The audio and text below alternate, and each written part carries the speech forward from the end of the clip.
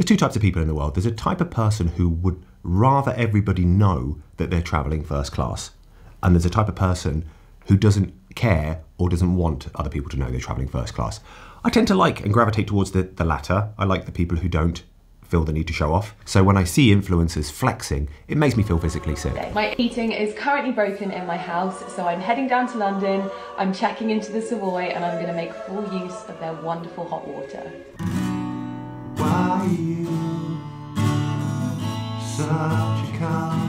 So how did I go from being this crazy YouTuber without many brain cells to co-founding a $20 million fund? In 2010, before many of you were born, I started making YouTube videos in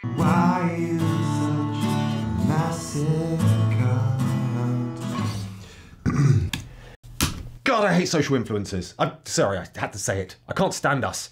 We're the we are literally the worst. Do you know why? It's because uh, so much of it is a facade. So much of it is a, uh, is a pretense. It's like a mask that we're all holding up. Like some, we're projecting a, an interpretation of ourselves, which is like sanitized and easy to be commodified, and it's just not really us. And occasionally, the mask slips, and you see the real person behind the mask. Something that I saw floating around on Twitter yesterday was the amount of people that were calling me a Tory, and I just want to 100% clear up right now that I'm not a Tory. Right now, I think creating content where you're flexing isn't really the time to be doing it when people are really struggling financially. But, however, that said, this week we're going to make a video where we just show off a load of stuff. And there's a couple of reasons for that. Amazon kindly gave us some credits recently for going to one of their events, so we got some like budget to spend on Amazon. It's Christmas coming up, people might want some ideas for Christmas. And the final reason is it's because I just want to talk about this stuff, and I'll explain why. I'm sorry to constantly bang on about my dead dad, but there's a part of our relationship that I really miss. And it's the part where if ever I would get something like a new pair of shoes or a new um, lens, I'd call him about it, all excited, and be like, Dad, I got this new thing. And then he would then get excited because he'd hear how excited I was about this thing. And I really miss that. And I feel like there's a bit of a vacuum in my life where I don't have that person anymore to call up and be like, I got this new thing. So I'm thinking you could be my surrogate dad this week. Hannah's going to help me as well. She's going to jump in and show you some of the stuff that she's got. I think it's just going to be like one of those old, old school kind of haul videos. But again, I hope it doesn't come across in any way flexy. I hope it doesn't come across in any way like we're trying to sh- show off anything. We're, uh, honestly, we're not. We're just trying to show you some stuff that we're really into and we really love. All the links for everything we mentioned are down below. Anyway, yeah, let's uh, see how this works. We went round to our friend's house recently and they had loads of these all over their house. And it just made it really cozy. And we first went in there, I didn't realise that they were all electric and they were all fake. I thought they were all real. So they're so, they're so good. I'll show you one. I actually have one in my office right here. It's very well loved. I think it's got like fingerprints all over it. But that's it on. And it kind of, the little like pretend flame flickers a little bit. So they just look really real and they kind of like if you're not focusing on them if they're just kind of around the room while you're doing other things you just don't notice that they're not real. Also the thing i love about these is that you can put them on a timer so you don't have to worry about going around and switching them off. You can just put them on for two hours or four hours and they're rechargeable as well. So all you have to do is plug them in. And yeah i am obsessed with them. I bring these to all my yoga classes as well One of the annoying things that happens to you when you get older is your hair starts to feel a little bit like more dry. It just loses that vitality. So uh, when I'm touching a kid's hair or Hannah's hair, it just feels really nice. I'm like, why does my hair feel like that? It's because I'm old, and so all the nice, good stuff is just basically dead. So um, I was in the hairdresser's the other day, and he he obviously picked up on it. He was like, your hair could do with a bit of a treat, a treating. I'm going to put some Moroccan hair oil in it. And I was like, oh god, what's this? And he put this Moroccan hair oil in it, and he worked it in, and he kept on banging on about how great it was. But I was thinking when he was going on about how great it was, he's just trying to sell me this stuff. He's obviously just bought some shit, marked it up by like by like ten thousand percent, and then he's going to try and sell it to me. But he banged on about it. I sort of switched off as he was going on about how great it was and what it was doing for my hair. And then later on that day, when I got home, I was like, oh god, my hair just feels really good. It just feels like I don't remember it feeling this good before. So I bought some of this stuff on Amazon, and it's this stuff, Moroccan hair oil. I've been using it every day for probably about three weeks now, and my hair feels incredible. It feel it's never felt this good. And Hannah will actually play with it now. Normally she doesn't touch it. She's like, oh, it's got it's got crap in it. Even though she strokes the dogs, who are like dogs, she's like, we'll be like stroking them for hours. I'm like, you'd stroke the dogs, and they've got they've got all sorts of crap in them. My hair's just got a little bit of wax in it. She won't touch it anyway. Let's not go into that. Leave that one for the marriage counsellor. Um, yeah, and it just feels really good. It feels really like soft. It feels like it used to feel when I was like in my twenties again, which is great. So yeah, Moroccan hair oil. Highly recommend this to anyone who has hair. Up, I have some CBD oil.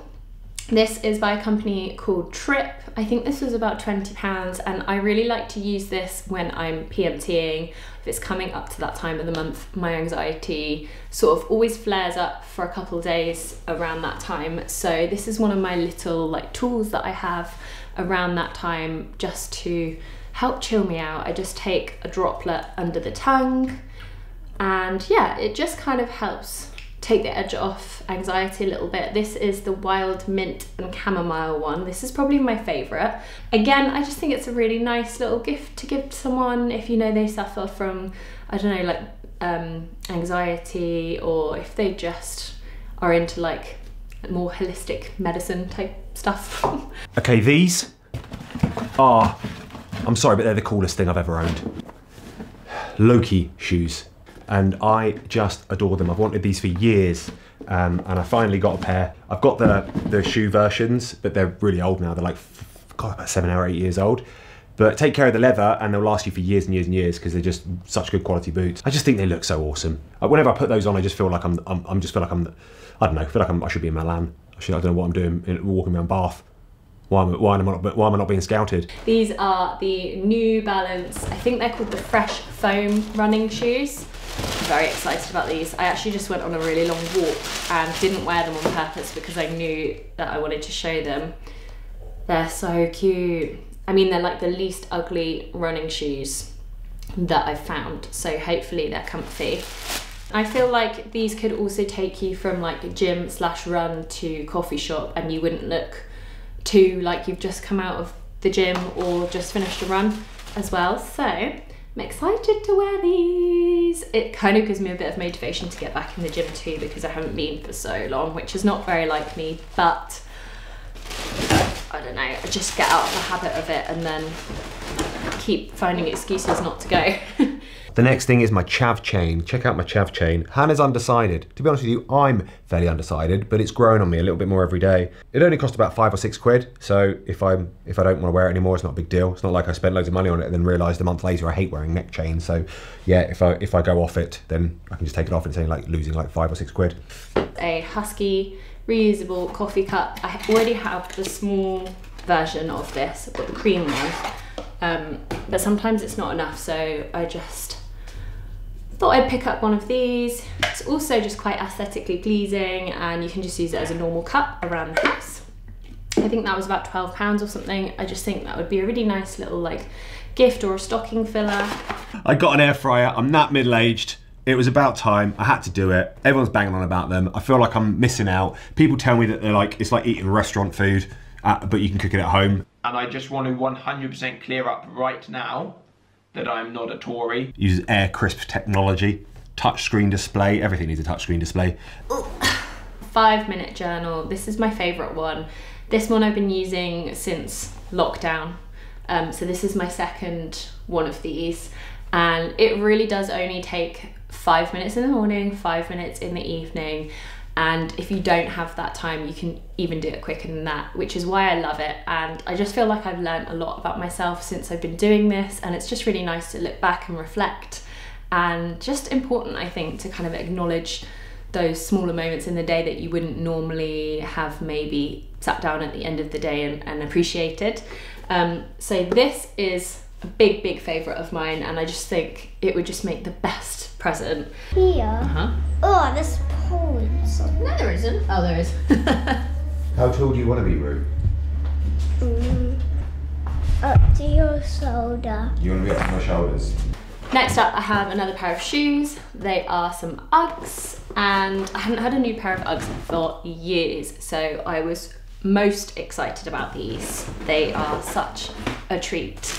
Um, I went for the classic chestnut in a short length. I did look for the like ultra mini ones, but they didn't have them. And also, I just thought it would probably quite annoy me because I've tried them on in shops before and I just found them a little bit tricky to get on. So I just went for the short ones and I've worn them a couple of times already around the house. I just think they're so, so comfortable and they last for years and you can wear them out of the house if you want to as well.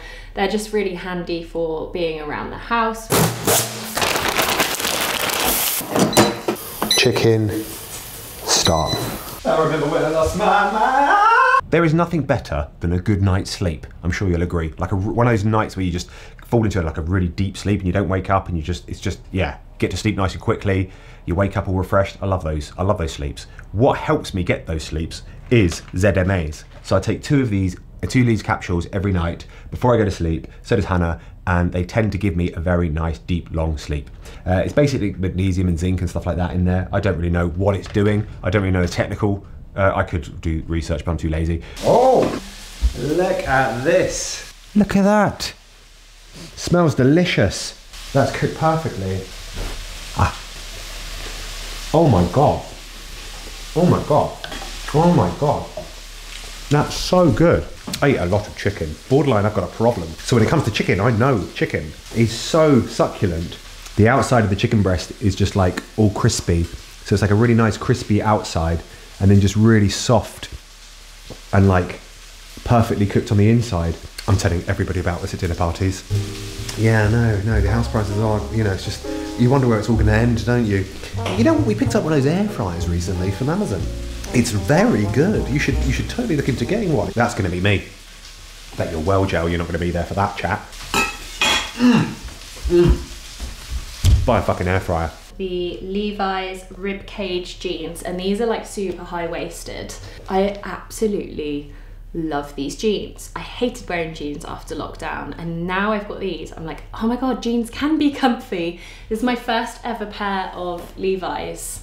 And I will say that I only spent this much on them because I had vouchers, and I wouldn't normally have wanted to spend over like 30 pounds on a pair of jeans. But my god, the fabric is so soft, the jean fabric, and they fit so nicely around the waist. They cover up my stretch marks because they're so high waisted. I've got a lot of stretch marks like down here um, from just from having kids. And yeah, I just, I just, I totally rate these, and I just can't believe that it's taken me 33 years to discover how comfortable they are. This is another thing I should really add to my list of things that I'm obsessed with. That's just our coffee machine. It's uh, called a Sage Twin Boiler. Um, we use it multiple times every day. We're big coffee drinkers. It's pretty much the best coffee machine you can buy for like your house. The next step up is like cafe coffee machines, which I kind of want to get. Like I, I would like to really get like a, a cafe coffee machine, like the big industrial ones, but I'm just being a dick. Um, this is fine. It grinds the coffee beans. We use a, a company called Pact Coffee, P A C T. Uh, I've got a discount code in the description if you want to use a discount code. And then they send us freshly roasted coffee beans every week. Pact coffee combined with the Sage Twin Boiler coffee machine. Mmm. Hannah makes lattes in it, and I just make black Americano. I like my coffees like I like my ladies black and bitter. How do you spell she? S H E. Good boy! You got all your spellings right. Looking like a trouser.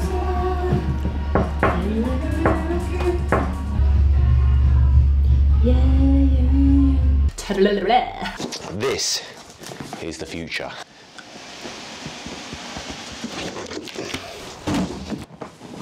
It is a uh, robot vacuum cleaner. So I write with my left hand, um, which means I've always had pen, pen dramas, and I'm always looking out for like the perfect pen.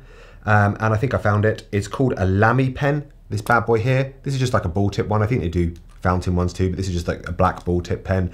And I love the weight of it, um, especially when you put the lid on the end like that and it gives it a bit of extra weight. I love the weight of it. I love my handwriting in it. I think it's one of my favorite pens I've ever owned. Um, I think it's about 14 quid on Amazon. Lamy pens, they're called. Yeah, I highly recommend a Lamy pen.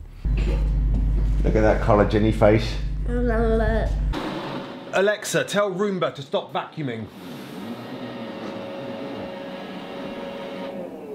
Oh man, I just love shit like that. I can I can literally tell it using my Alexa. Sorry if I triggered yours. Uh, to hoover my house when I'm when I'm leaving. I can literally be like Alexa, tell Roomba to hoover the lounge, and it will go off and hoover. By the time I get back, the lounge is hoovered. Oh man, I love the future. Yeah, Hannah just worked with them over on her Instagram, so they sent us that one as like a press gift. But uh, yeah, we're all obsessed. It's got like a little mind of its own. It's got its own little character. It's nice having it around, bit of company for a deeply lonely man. I was editing this video and I felt like it was missing something. It was like it, it's not a, it's not one of our videos unless it's got one of one of our silky montages in there. It's kind of our signature. So I thought let's get let's let's do, let's do a good old fashioned silky. Otherwise, it's just a 42 year old man banging on about his new air fryer. I thought I could in this silky montage read you out a poem I found recently. It's by um, a guy called Jonathan Edwards. It's called The Voice in Which My Mother Read to Me.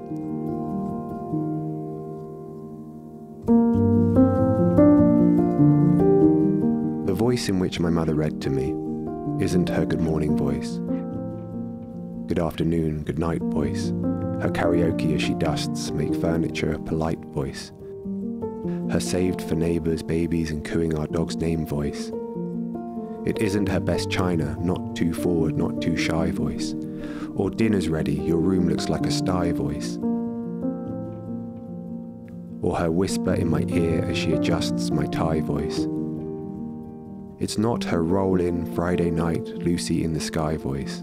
Her Sunday morning smartest frock, twinkle in the eye voice. That passing gossip of the vicar with the communion wine voice.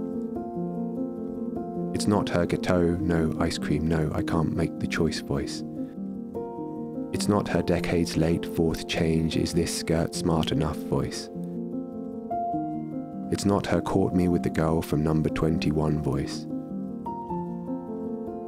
That voice which she reserved for 12 foot grannies, deep south hobos, that sleepy, secret staircase, selfish giant's Lilliput voice. That tipping over, boy, why is your house so full of books? Voice.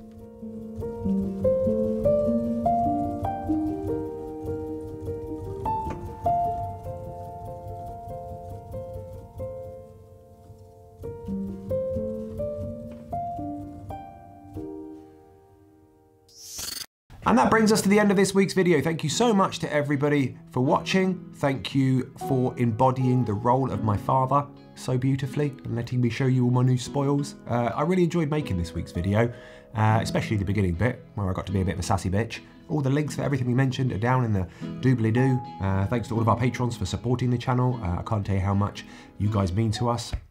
Uh, I don't know why I did that little chest thing. Awful, awful thing to do. that I'm not a Tory.